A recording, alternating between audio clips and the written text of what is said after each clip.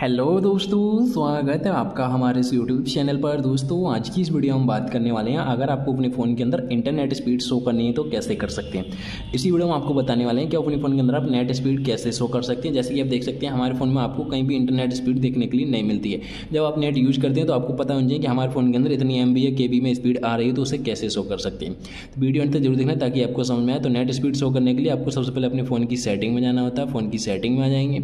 Setting में आने के बाद आपको स्क्रॉल ऑन करके नीचे आ जाना तो यहाँ आपको एक ऑप्शन मिल जाता है डिस्प्ले एंड ब्राइटनेस सिंपली आपको डिस्प्ले एंड ब्राइटनेस पे आ जाएँगे। डिस्प्ले एंड ब्राइटनेस वाले ऑप्शन में आने के बाद आपको स्क्रॉल डाउन करके नीचे आ जाना जब आप स्क्रॉल डाउन करके नीचे आ जाएँगे तो इसमें आपको एक ऑप्शन तक मिल जाता है अपने फ़ोन के अंदर स्टेटस बार तो सिंपली हम स्टेटस बार पर क्लिक करेंगे।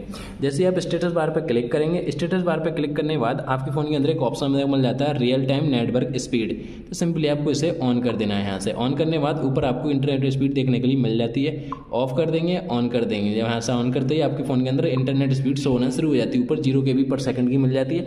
जब आप नेट यूज़ करेंगे तो आपको देखने को मिल जाती है। यहाँ आपको नोटिफिकेशन मेथड देखने को मिल जाता है, जो कि आप अपने हिसाब से चेंज कर सकते हैं। तो इस प्रकार से अपने फ़ोन के अंदर आप नोटिफिकेशन मेथड और इंटरनेट स्पीड शो करा सकते हैं। तो अगर आपको वीडियो अच्छी लगी हो तो वीडियो को लाइक करें शेयर करें और चैनल पर नए हो तो चैनल को सब्सक्राइब करें। मिलते हैं आपसे फिर किसी नेक्स्ट वीडियो में। तब तक के लिए बाय एंड टेक केयर